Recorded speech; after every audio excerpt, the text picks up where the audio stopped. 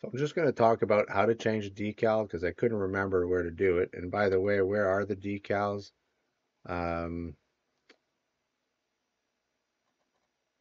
under objects, under decal. And when I place one, and there's a lot in here, by the way, so not only in Megascans.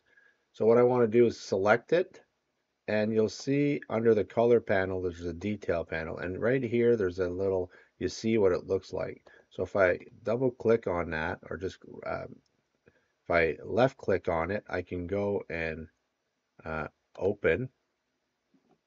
And then what I can do is go get, for example, in Photoshop, I, I have a transparent PNG or I can get something off the internet that I really like. I'm going to go over here. I'm going to just open it or go like this, open, and it actually now puts in my transparent PNG. So this is how you can go get some really cool, because you know Twinmotion has limited stuff, and and the decals are a really powerful way uh, to to do stuff. And I'm just going to make this character a little bit larger.